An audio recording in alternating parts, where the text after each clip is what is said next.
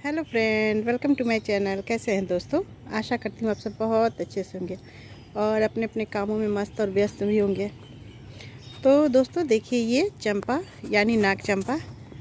देखिए कितना खूबसूरत ये फ्लावरिंग लिया हुआ है और इसमें कितने सारे वर्ड्स बन रहे हैं, कितने सारी कलियाँ ली हुई हैं और इसमें बहुत सारे ब्रांच निकले हुए हैं।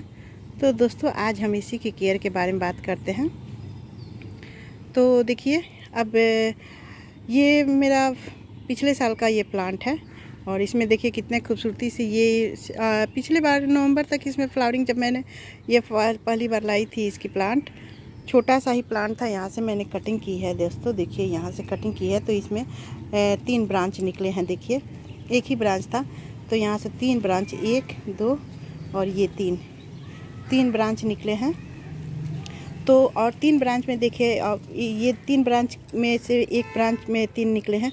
तो इस तरह ये घना और लंबा सा प्लांट होते जाता है। और सभी में फ्लावरिंग शुरू हो जाता है तो बहुत ज़्यादा जब फ्लावरिंग शुरू हो जाता है तो बहुत खूबसूरत वाइट वाइट कलर के फूल खिलते हैं इसमें। बहुत ही खूबसूरत और बहुत दिन तक, सॉरी। देखिए, ये दोस्तों मुझसे टूट गया गलती से। ये ब्रांच मेरा टूट गया। क्या करूँ अब? ये मेरा ब्रांच बहुत ज़्यादा दुख लग रहा है टूट गया। खैर, इसे मैं लगा दूँगी। और यहाँ से देखिए, टूटने के बाद इसमें से गिरा है। तो ये प्लांट बहुत ही खूबसूरत लगता है दोस्तों, और जब फूल खिलते हैं तो माश, गजब का इसमें खूबसूरती आती है। देखिए कितनी कलियाँ बनी हुई है। और एक ये पूरे गुच्छे में खिला हुआ था, सो इसमें फ्लावर हो रहा है। अभी देखिए बारिश का मौसम चल रहा है, और बारिश के मौसम में इसमें बहुत ज़्यादा फ्लावरिंग शुरू हो जाता है। और ये मेरा करीब एक मंथ से इसमें फ्लावरिंग शुरू हुआ है। इस ब्रांच में फ्लावरिंग शुरू था। अब इसमें भी फ्लावरिंग शुरू हो गया है और धीरे धीरे देखिए, सभी में कलियाँ लेना शुरू हो गए हैं, सभी में। तो सभी में अब फ्लावरिंग शुरू हो जाएगा। तो इस तरह ये सभी में फ्लावरिंग करके पूरा ये भर जाता है और ये पूरा वाइट वाइट कलर का दिखने लगता है। और इसकी जो पत्तियाँ होती हैं, देखिए दोस्तों, इसकी शेप बिल्कुल नाक जैसी होती है। देखिए नाक का जो फन होता है ना, उसके जैसा होता है। तो इसीलिए इसको शायद नाक चंपा कहते हैं।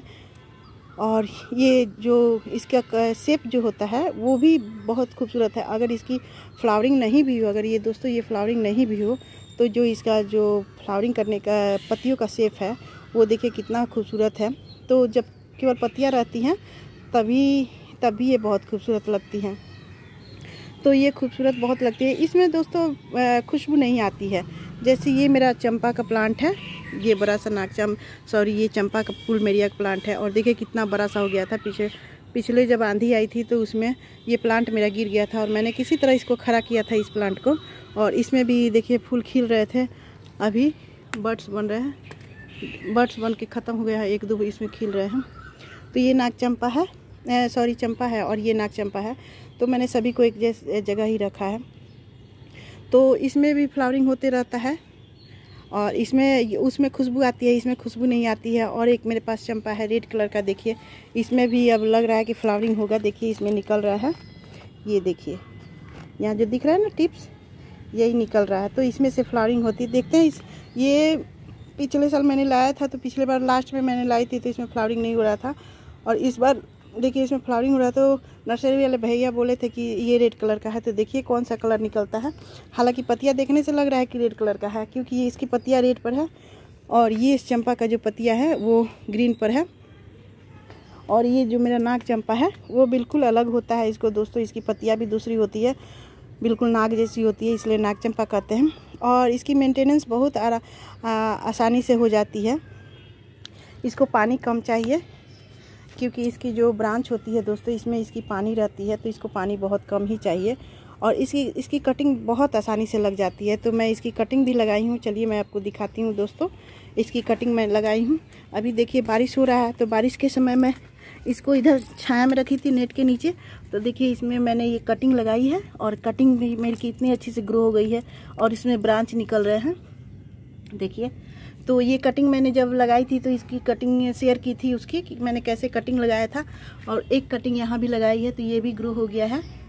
दो कटिंग मैंने लगाया था दोनों मेरा कटिंग ग्रो हो गया है तो इसकी कटिंग भी बहुत आसानी से लग जाती तो इस तरह इसकी कटिंग लगाना दोस्तों बहुत आसान हो जाता है और इसकी फर्टिलाइज़र की बात करें तो दोस्तों इसमें जब कटिंग इसकी हम करते हैं तब इसको हम फर्टिलाइज करते हुए इसकी मिट्टी बनाकर और बन, डाल देते हैं इसकी मिट्टी में और इसमें फर्टिलाइज़र गोबर की खाद ऐड करते हैं। और महीने में इसको, महीने में दो बार मैं इसमें खाद डालती रहती हूँ, जैसे जैविक खाद हो गया, गोबर की खाद हो गई, या कोई ऑर्गेनिक खाद मैं ज़्यादातर डालती हूँ तो ऑर्गेनिक खाद डालती हूँ या केमिकल वाली खाद होगी तो महीने में एक बार डाल देती हूँ। लेकिन ये फ्लावरिंग बंचेस में करता है, बहुत भरपूर मात्रा में करता है तो इसको खाद पानी की भी ज़्यादा ज़रूरत पड़ती है दोस्तों। तो इसे पंद्रह दिन में खाद ज़रूर डालें। कोई भी लिक्विड फर्टिलाइज़र हो या ऑर्गेनिक फर्टिलाइज़र हो या फिर गोबर की खाद कोई भी फर्टिलाइज़र आप इसमें पंद्रह दिन पर एक बार ज़रूर डाल दीजिए तो ये आपको सितंबर अक्टूबर तक पूरा महीने फूल खिलते रहेगा और अक्टूबर में आप चाहे तो इसकी कटिंग कर सकते हैं या फिर फरवरी में कट, कटिंग कर सकते हैं। तो ये प्लांट देखिए कितना खूबसूरत लगता है ना।